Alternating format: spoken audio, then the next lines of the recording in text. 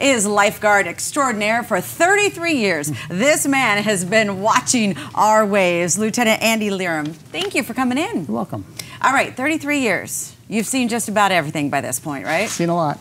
But put it in perspective with the amount of stingray uh, accidents or incidents from last weekend. Is that high? Is it to be expected? Where are we at? It seems like every year there's a spike in stingrays, but actually it happens almost every year where there's large numbers of people getting stung by stingrays. It has to do more with the conditions. When the surf is small, when the weather's nice and a lot of people go to the beach, that provides an opportunity for people to step in their environment more often, and that's what results in stings uh, with the way we think of it, it's our environment, right? So that's a good head check right there. We are going into their environment. As we're looking at the screen right now, uh, I know I know what this is called, the Stingray Shuffle. Explain to me what we're supposed to do as we're walking in the water. Well, just like you're supposed to stomp your feet in the woods to scare away the snakes, you're supposed to shuffle your feet in the sand to scare away the stingrays. That disturbs their habitat. They don't like it. They want to get away from you. All right, what happens if you are stung by a stingray? What should you do? Well, if you do get stung, it's going to hurt. It's uh, a lot of people describe the pain as a 10 out of 10. Ooh. The uh, the barb is in the tail of the stingray. It it uh, triggers a defense mechanism of the fish, and it sometimes hits your foot or leg or ankle, and uh, it creates a hole just like a nail would. It, it it punctures your skin, and then the venom is released into your skin. And that serotonin venom is very painful. Have you ever been stung? Fortunately not. Really? 33 years as a lifeguard and you never have been stung? A lot of close calls. Oh, is that right? Yeah. But they're not exactly, as you just mentioned, they're not coming after us. They're not trying mm. to do anything other than defend where they are. They're mostly preoccupied looking for food. Okay. And then we stomp on them and they're trying to defend themselves. Hey, I do the same thing too. When I'm on my break in the lunch in the lunchroom, you know, you start pushing everybody out. Right. All right, uh, what else is coming up for the 4th of July? What's uh, some of the, the things you would recommend to folks as they are coming to the beach? A lot of people will come, and it's just a good time to remind people to be patient when you come to the beach. Mm. Parking lots are going to be tough, They're, they fill up early. Um, also, uh, we have a lot of lost children occur on the 4th of July. It's easy to get separated with all the people. So come up with a plan, pick a lifeguard tower uh, to reunite if you should get separated from your family members. Also, it's important to remember the rules, right? You can't bring alcohol. Uh, there is no smoking. That makes the environment nicer for everybody.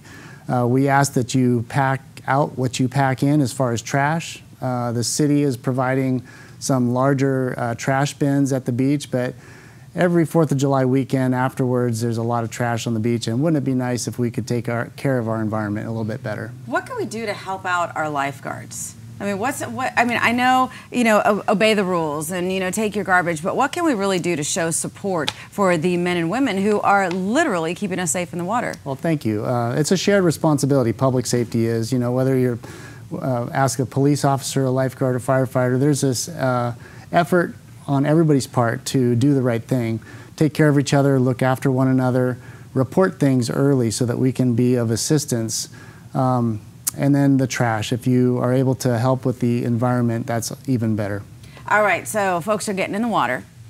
You're assuming they are going to know how to swim before right. getting into the water, but one thing that a lot of folks don't know how to deal with is rip currents. And there's a real misconception that people think when you get in a rip, it pulls you under. That's not what actually is going on, correct? That sensation of being pulled under is called gravity. I deal with that every day. Yeah. So rip currents continue to be the number one hazard, even though stingrays are being talked about. The rip currents are really what uh, is more hazardous. The consequences are greater if you get stuck in rip current and you can't swim. You bring up a good point. Uh, it's important to know how to swim before you go into the water, uh, even if you're in a backyard swimming pool. In fact, that's a good segue. Before I forget, parents are the lifeguards at home. Excellent. And make sure an adult is in charge of supervision of young kids especially back to rip currents. Okay, uh, thank you. Get, if you get stuck in a rip current, uh, we ask people not to panic, but to swim parallel to shore until you're out of that rip current, and then you can catch a wave back into shore in shallower water. It's likely the lifeguard's going to be on his way or her way to help you out if you're in a rip current. Okay, so when you get stuck in a rip current, you're having this feeling that you're literally going nowhere. You're just getting pulled out a little bit. So you're saying go parallel and then allow and then wave your hands to the lifeguard? Right. It's uh, human nature to go back to the beach if you're being sucked out. And when you swim back to the beach in a rip current, you're on a treadmill. you're not going to necessarily go anywhere except backwards. That's why it's important to swim parallel, either north or south. Get out of that rip current, and then once you're out of the neck of the rip current, you can get back to shore. As a parent, is it smarter for me to go try and rescue my kid out of the rip or go get a lifeguard?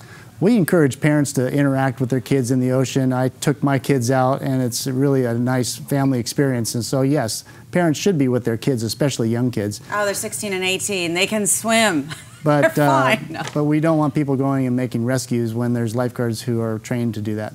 All right, what about scooters? Because we've been focused a lot on scooters, and uh, you, you guys are kind of the you know regulators of the beach. But as far as the scooters go, where is your authority?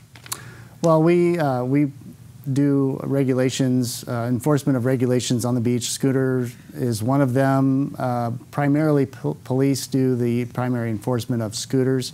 However, uh, since just a few days ago, when the new laws kicked in, the scooters now only operate at eight miles an hour on the on the boardwalk, which is a big improvement for safety. So already we've seen a reduction of scooter accidents on the boardwalk. Oh, that is a positive. But they also, folks, need to understand that the police are regulating what's going on with the scooters. So uh, when the Fourth of July rolls around, do you guys get together? Is it like the Super Bowl for lifeguards?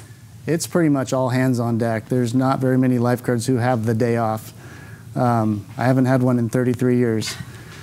Uh, we all pretty much uh, position ourselves where we can be most effective. There's not a whole lot of traveling opportunity to respond to places with traffic backed up. So we strategically put our lifeguards in place to affect those rescues. We even have two lifeguards assigned to the helicopter for with a fire rescue helicopter in case there's a deployment necessary where we can't get to by vehicle. Lieutenant Lerum, thank you so much for your 33 years of service, your advice, and again, one of the catchphrases you gave us today parents are the lifeguards at home. Very so true. watch your kids while they are in the pool. Yep. Have a happy and safe Thank 4th you. of July. You too. See you at the beach.